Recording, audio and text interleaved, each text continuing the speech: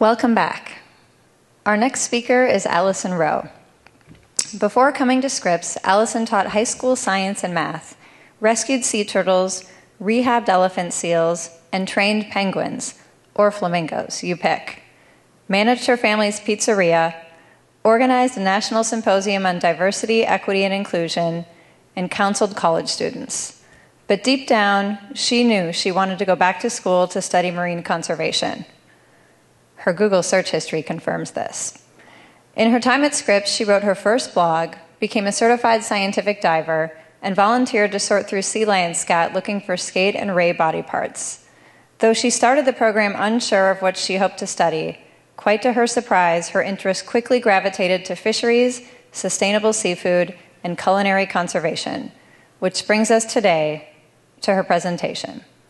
The title of her presentation today is San Diego Fish Tales Stories and Recipes from the Local Sustainable Seafood Community. Thank you, Samantha. Once upon a time, a chef had a baby girl. Over the years, she spent hours flipping through the pages of her father's cookbook. Fast forward three and a half decades, and that girl decided it was never too late to go back to school to pursue her passion. This is Paul Greenberg. He's an award winning author who writes about ocean and environmental issues. His book, American Catch, was assigned reading for this program. On the first page of the introduction, it says around 90% of the seafood Americans eat comes from abroad. In his conclusion, he says, We are what we eat, but Americans do not eat what we truly are. We are an ocean nation, a country that controls more sea than land, and we have more fishing grounds than most other nations on the planet. Yet, we continue to move away from the sea's influences, especially as we eat more and more imported seafood and lose more and more of America's seafood industry. We're in a fight to save American seafood, and this is not just a fight for our fishermen, it's a fight for all Americans. To save our biologically vital coasts economically viable waterfront communities, and good, healthy food. A year ago, I did not realize I was part of the dismantling of America's seafood industry. I thought I was doing the right thing. I ate seafood that was certified by the Marine Stewardship Council, and I avoided seafood on Monterey Bay Aquarium's Seafood Watch Red List. But this is a label that represents the kind of seafood I had in my freezer a year ago frozen cod fillets. This fish was certified by the Marine Stewardship Council and wild caught in the US. But if you look at the bottom, it was processed in China. Processing our seafood in foreign countries and then shipping it back home is one way that we are moving our seafood industry out of America. Here's another example frozen breaded fish fillets. The box says it's wild caught and that the fish is pollock. I felt pretty good knowing that it was wild caught pollock, but the more I learned, the more questions I had about this product. This bright blue box is actually a box of mysteries. There's no country of origin listed on the box, so I don't know where the fish was caught. I don't know who caught the fish. I don't know what the working conditions were like of the fishermen. Was it handled properly to ensure food safety? And finally, how many hands have actually touched this fish in its ocean to freezer journey? There's an alternative to mystery box fish, and that's to eat local sustainable seafood. It's the best choice for our environment, our economy, and our community. I wanted to share what I had learned. The situation painted in American Catch needs urgent action. And except for a few websites, I couldn't find any San Diego specific resources about sourcing and eating local seafood. So I came up with the idea to write an ocean to table book with stories and recipes from San Diego's seafood community with the goal of connecting seafood consumers to San Diego's fishermen, local fisheries, and chef inspired dishes using local seafood. The first step was to define local seafood as well as sustainable seafood. I started with local seafood because that seemed easier, and boy, was I wrong. After many interviews with fishermen, chefs, and scientists, it became clear that there are quite a variety of definitions for local seafood, and not many people agree. But if there was some consensus that came out of it, The two definitions that stuck were seafood that is landed in San Diego by San Diego fishermen, meaning it was unloaded in San Diego, and seafood that is caught in Southern California fisheries. As for sustainable seafood, there's much more consensus. After researching the term, it seemed that most definitions touched on three considerations. First, healthy and viable populations of the harvested species. Second, minimizing harm to ocean habitats and ecosystems. And third, ensuring the livelihoods of fishermen and seafood community members who depend on the seafood industry. Remember that box of mysteries fish that left us with more questions than answers? Well, your fisherman has answers to your questionmen, to your questions. Knowing your local fisherman helps bridge the gap between the ocean and our table. This is Kelly Fukushima and John Law. Both are commercial fishermen in San Diego. Kelly has been fishing commercially for over 20 years, and John for over 40. In our conversations, one thing they both stressed is the care they take in fishing and the quality of the fish they deliver. John put it this way I treat every single fish that I bring over the rail as if it's the only fish I caught.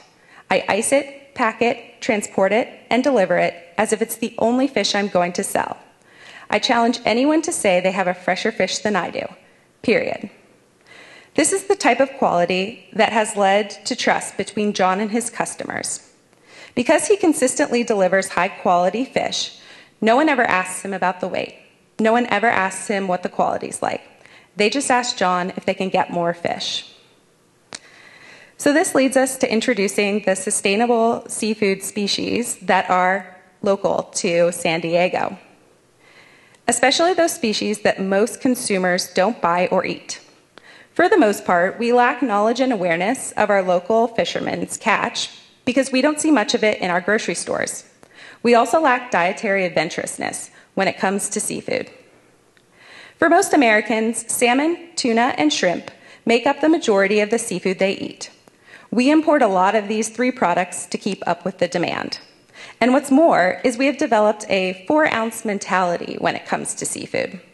What I mean by that is we like our seafood in four ounce rectangles that no longer resemble the animal from which they came. No bones, no scales, and certainly nothing that tastes too fishy. But San Diego has a ton of exceptional local species that are good for the environment as well. We just need to know what types of seafood to look for and then try it to see if we like it. For example, some of the underappreciated local species include, local products include, rockfish, sablefish, also known as black cod, and spot prawns, which are actually a type of local shrimp. Forming relationships with fishermen helps increase our knowledge of local seafood species. And this seafood is seafood you really want to eat. This is Tanner Saraspi, a third generation San Diego fisherman. She says this about local seafood This is not grocery store seafood. This is seafood for the soul, caught in your backyard. Fishermen like Tanner and local fishmongers can help you choose local seafood that's in season and give you tips for selecting good fish as well as ideas for preparing it. If you're not comfortable cooking a new type of seafood at your home, a great way to try it for the first time is ordering it at a local restaurant. The restaurant chefs know how to highlight the flavors of the seafood, so you can really get a sense of if you might like it. If you're going to try a new seafood at home, it's helpful to have some simple recipes. So I worked with local chefs to introduce dishes made with local fishes. It's common to think that all seafood is difficult to cook and easy to ruin, but that's just not true. With the right recipe and the right flavors, you can make great tasting seafood at home. And if you can cook salmon and tuna, you can pretty much cook any local species. Here's some great options for San Diego local species and products. The first is grilled spot prawn, then rockfish ceviche, and finally, miso black cod. Local fishermen and chefs have so many recipes and ideas for preparing seafood that they are willing to share. You just have to ask, or buy my book in the future. One of San Diego's most outspoken advocates for sustainable seafood and eating locally is Chef Rob Ruiz. When it comes to sharing his passion, he says, My goal is to educate locally and speak globally about the impact one person can make. You start with wanting to do good for your local environment. Then you realize you can impact the city, the state, and beyond. You may think you're only one person. How could your seafood choices actually make a difference? Well, we all vote with our dollars. What we buy shows what we value. When we use our purchasing power to support our local seafood community, it also supports sustainable oceans. There are truly so many benefits to eating local sustainable seafood. There's no doubt there's benefits to the environment, the economy, and your health. But maybe, and most relevant at the moment, is how the local seafood industry benefits our community. During the coronavirus pandemic and the stay at home orders, local fishermen kept fishing. This was hugely important because the supply of imported seafood and other products dropped, and some items became unavailable for weeks and sometimes months. Our local fishermen ensured that we did not go without fresh seafood. They adapted their businesses to meet our needs and safely delivered seafood to our homes. Fishermen go fishing when times are good and when times are rough. They are an asset to our community. Our local seafood has a story. I'm halfway through the writing of the book that will tell the story through the experiences of San Diego's seafood industry and make local sustainable, sustainable seafood a dinner time favorite. For me, this year and this project connected the dots. My dad's passion for cooking and my years of working at his restaurant, combined with my passion for marine conservation, inspired this Ocean to Table book, introducing San Diego's fishermen, local fish, and seafood dishes. My capstone project would not have been possible without the support, encouragement, participation, and time of so many individuals. My acknowledgments represent immeasurable gratitude. Thank you ever so much. To my advisory committee, participants from the seafood industry, chefs, photographers, mentors, MBC program staff, and of course, my friends and family. Thank you.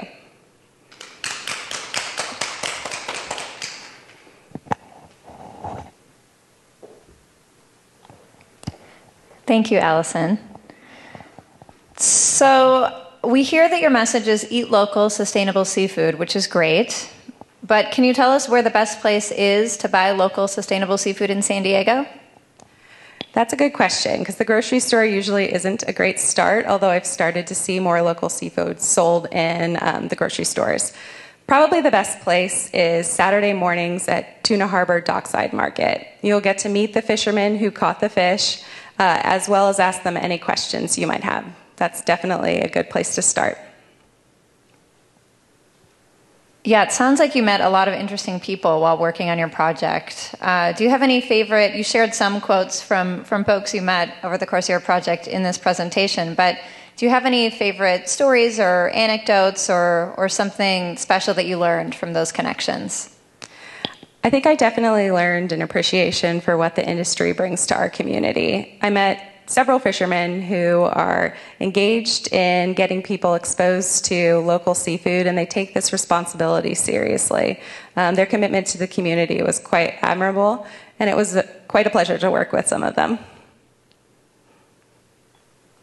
And then finally, you mentioned that the local fishing industry supports jobs in San Diego. Um, what other impacts does fishing have on the local economy? So, for jobs, they definitely produce tons. They are not only employing people like deckhands, but they also work um, in the industries that support fishing. So, things like the ship store or the gas that is needed to power their boats. But in addition to that, fish are sold everywhere. And so they not only support jobs, but they also support industries like the restaurants. And that could not have been more clear with everything that happened during the coronavirus pandemic. And several restaurants shutting down really affected the fishermen, and the same would be true vice versa. So all of these industries are incredibly interconnected. And we have a question actually from Sarah in San Diego who wants to know whether your ideas of sustainability changed as a result of this project over time. I would say my sustainability ideas got broader. I think one thing that came out of interviewing fishermen was how important the sustainability of the seafood industry is. Um, we do think about putting sustainability of the ecosystem and the fish first, which is essential, um, but it's also important to consider how much the industry supports, um, and we have opportunities to support the industry in return. And just as a side note to that, uh, most people say that local seafood is too expensive to buy, but there really are several species and products that you can buy that are affordable. All right, and then just one more. You ended a little early, so you get the luxury of lots of questions, and we have some coming in from the web. Um, Melinda in Arizona asks How do you find sustainable seafood in a landlocked state? And what are some of your favorite recipes? Great question. Uh, so, sustainable seafood in landlocked states is often flown overnight. Um, so, you need to know who is actually getting that fresh seafood, and a lot of times that just takes asking the stores. Um, there are several stores that do source sustainable seafood, and that's kind of their mission and prerogative. So, it's worth asking what their values are and if that's something they value. So, I would say it's more difficult than if you live in San Diego, but it's certainly not impossible.